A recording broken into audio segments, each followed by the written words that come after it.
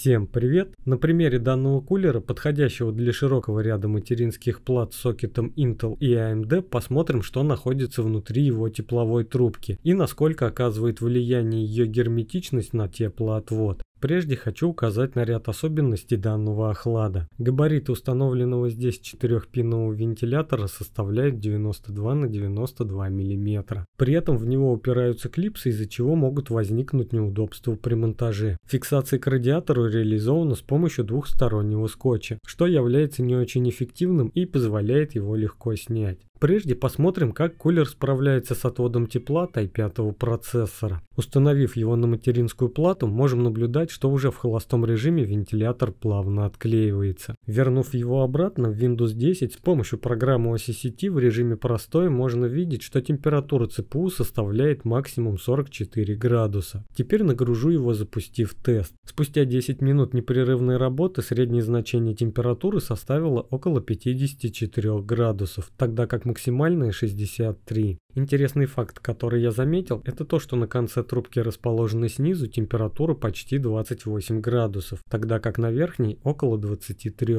Перейдем к самой интересной части, а именно разгерметизации системы теплоотвода. В ходе распила какого-либо запаха или выделения жидкости я не заметил. Здесь на внутренней стороне трубки можно наблюдать пористую структуру. Как известно, она позволяет специальной жидкости, имеющей относительно низкую температуру кипения под действием капиллярных сил перемещаться. Спилю противоположный конец и посмотрим, удастся ли все-таки что-то обнаружить. Таким путем какую-либо жидкость или вещество, находящееся в другом состоянии, мне не удалось выявить. Проверим, окажет ли влияние разгерметизации трубки на теплоотвод. Установив кулер на материнскую плату, в программе OCCT максимальное значение температуры в режиме простое составило около 60 градусов. Теперь нагружу процессор, запустив тест. Спустя почти одну минуту его температура достигла 100 градусов. Как можем видеть, нарушение целостности приводит к сильному снижению рассеивания тепла.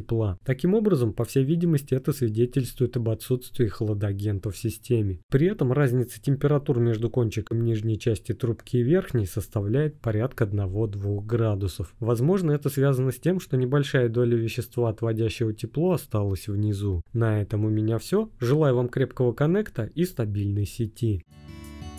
Thank you